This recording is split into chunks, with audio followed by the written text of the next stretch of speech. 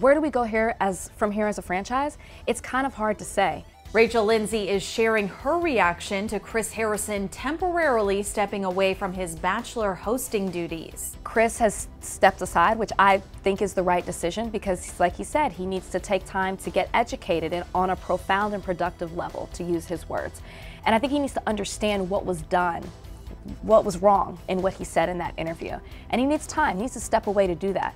On Saturday, Harrison announced that he won't be hosting The Bachelor's upcoming After the Final Rose special following his controversial interview with Lindsay, where he defended current Bachelor contestant Rachael Kirkconnell's alleged past racist actions, which included attending an Old South plantation themed party while in college in 2018. Well, Rachel, is it a good look in 2018 or is it not a good look in 2021? It's because not a, a good difference. look ever. Shortly after that interview aired, Harrison issued a statement apologizing for, quote, wrongly speaking in a manner that perpetuates racism.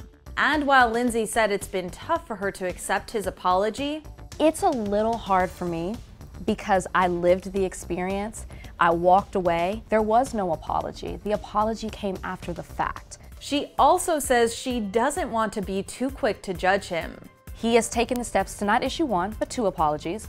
Let's see what happens from there. Mm-hmm. The former Bachelorette also pointed out that many members of Bachelor Nation have spoken out against Harrison's comments, including the women from the current season of The Bachelor who issued a joint statement. To see the contestants come together and speak out and to say what they don't stand for, I don't know how we continue in this way.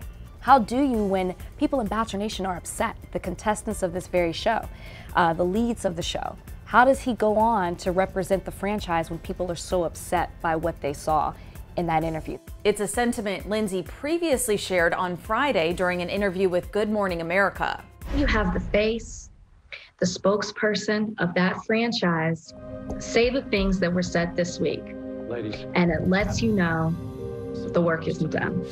And on Thursday, she called for action when she opened up about Harrison's apology on her podcast with Van Lathan, Higher Learning. He said, I promise to do better.